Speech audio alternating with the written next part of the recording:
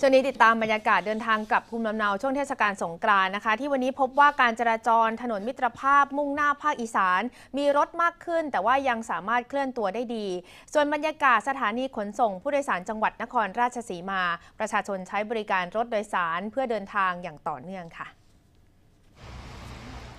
บรรยากาศตั้งแต่ช่วงเช้าที่สถานีขนส่งผู้โดยสารแห่งที่ 2 จังหวัดนครราชสีมา มีประชาชนทยอยเดินทางกลับมาจากกรุงเทพมหานคร เพื่อเดินทางต่อไปยังภูมิลำเนาในหลายจังหวัดภาคอีสานต่อเนื่อง ส่วนหนึ่งเป็นพนักงานโรงงานที่ก็เริ่มทยอยหยุดกันแล้วตั้งแต่เมื่อวาน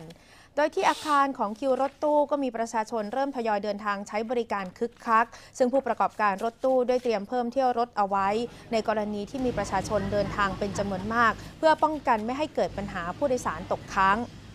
นอกจากนี้สำนักงานขนส่งจังหวัดนครราชสีมาได้มีการตั้งจุดเช็คพอยต์เพื่อตรวจสอบความพร้อมของพนักงานขับรถ ทั้งรถบัส และรถตู้โดยสาร ด้วยการตรวจวัดปริมาณแอลกอฮอล์คนขับทุกคน พร้อมกับทดสอบประสาทสัมผัสทั้งมือและเท้า เพื่อให้พนักงานขับรถมีความพร้อมมากที่สุด ในการให้บริการรับส่งผู้โดยสารในช่วงวันหยุดสงกรานต์ปีนี้ ในขณะที่สภาพการจราจรบนถนนมิตรภาพ ในเขตจังหวัดนครราชสีมาช่วงที่ผ่านอำเภอปากช่อง และอำเภอสีคิ้วก็พบว่า